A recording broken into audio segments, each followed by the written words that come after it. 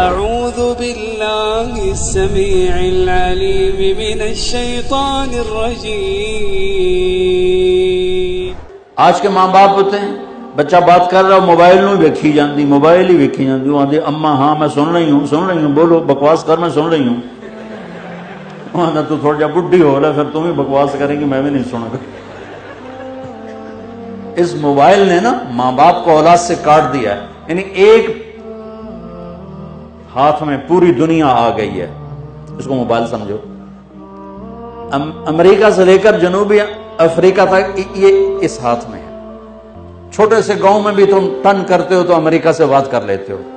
دنیا کو ایسے ایک مٹھی میں بند کر دیا ہے، لیکن رشتوں کو اتنا دور کر دیا ہے کہ نہ ماں ماں ہے، نہ باپ باپ ہے، نہ بھائی بھائی ہے، نہ بہن بہن ہے، نہ بیوی بیوی ہے، نہ خامد خامد ہے۔ کہ رشتے ٹوٹ گئے، محبتوں کو آگ لگ گئی۔ میرے نبی کا ہائے، توجہ فرمائے نہیں توجہ فرمائے کتنا یہ لفظ آپ لوگ سنتے ہیں؟ وجہ چہرے کو کہتے ہیں۔ اور توجہ کا مطلب ہوتا ہے کہ آپ سے کچھ کہنا چاہتا ہوں، بوتھا شریف میری طرف کرو۔ موبائل کی طرف نہیں ہائے ہائے ہائے میں قربان جاؤں یا رسول اللہ آپ کی عزتوں پر آپ کے اخلاق پر۔ میرے نبی کو ادھر سے آواز پڑتے یا رسول اللہ آپ یوں نہیں کرتے تھے۔ نہیں نہیں، کبھی نہیں۔ ادھر سے آواز پڑتی یا رسول اللہ۔ میں تو اس سے آگے نہیں کر سکتا۔ نہیں بٹ صاحب کہیں گے مولانا صاحب میں کہا ہاں کی گل ہے جلدی دس میں فارغ نہیں ہوں۔ جب ادھر سے آواز آتی یا رسول اللہ تو آپ یوں ہوتے تھے۔ اس سے زیادہ کوئی عزت دے سکتا ہے؟ کبھی ایسے نہیں کیا، کبھی ایسے نہیں کیا۔ پوری ادھر سے کسی نے بولا، یا رسول اللہ، تو آپ پورا ایسے متوجہ ہوتے۔ جی۔ ارشاد فرمائیے۔ اتنی عزت دیتے تھے۔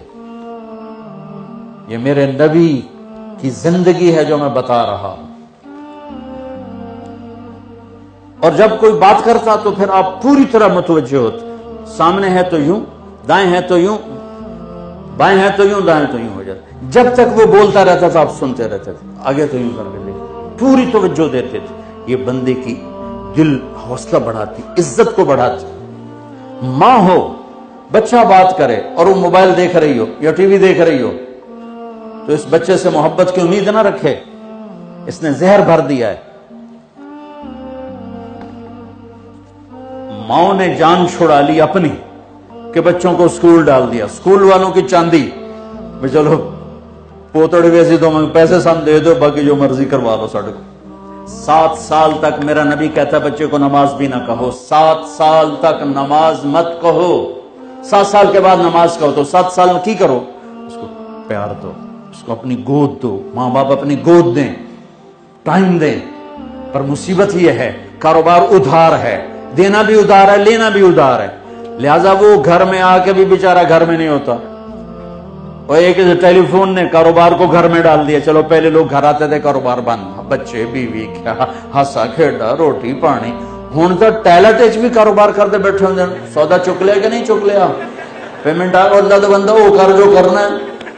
اپنی جھولی لا تے جا باہر۔ ایسے الو ہیں ٹوائلٹ میں کاروبار کرتے لانا تھا اس مراسیاں دا بال جمے انہیں چم چم کے مار چھڑے۔ پاکستانیاں نو موبائل لبیا انہیں چم چم اپنی حیاتی برباد کر چھڑی۔ ٹن ٹن ٹن ٹن۔ اور تھوڑا سا مشہور ہو جاؤ تو پھر مصیبت پڑ جائے۔ مجھے پتا آپ بہت مصروف ہیں، آپ میرے لیے دس منٹ فارغ نہیں کر سکتے۔ ایسے کچھ سینکڑوں اگر میسج روزانہ آئیں، تو ایک کتھو لے آوے دا منٹ ہر واسطے۔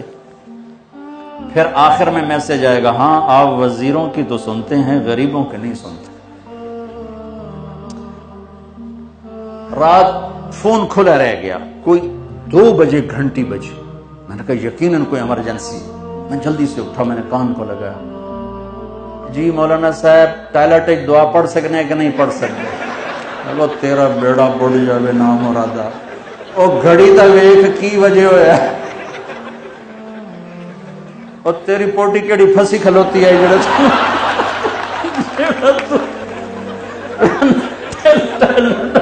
دعا پڑھ سکنے نہیں پڑھ سو دین دے چڑھن دے میں آ بندہ، خدا۔ بارہ بجے تو سمن نو لبدا ہے۔ تو دو بجے گم کھلا رہ گیا، یاد نہیں رہا تو یہ مسئلہ، یہ میری قوم کا حال ہے اس موبائل کے بعد۔